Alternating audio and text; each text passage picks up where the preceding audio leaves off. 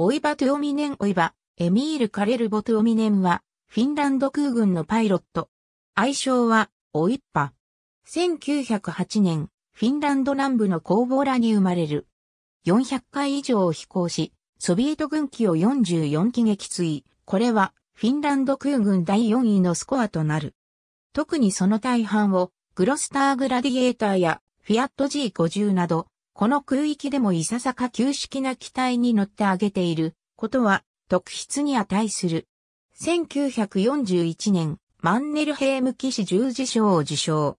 1976年、ヘルシンキで死去した。1926年、空軍に志願する。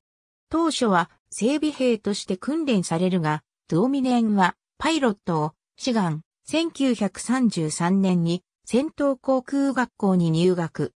卒業後、偵察機パイロットを経て、1938年、服用戦闘機ブリストルブルドッグ装備の第26戦隊に配属される。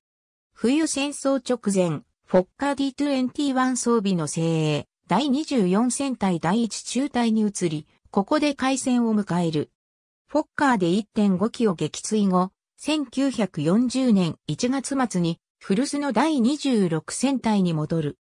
この頃までに第26戦隊はグロスターグラディエーターに機種改変されており、トゥオミネンは停戦までにグラディエーターでさらに6.5機の撃墜を重ねた。冬戦争中の撃墜数は8機で、この時点でのフィンランド空軍第2位のエースであった。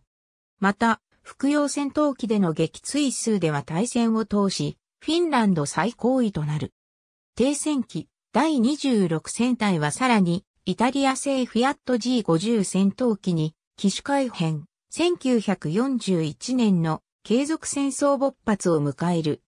トゥオミネンは同機種で1942年にかけて23機を撃墜した。これは生産国イタリアを含めてもフィアット G50 を使っての撃墜数で世界最高位である。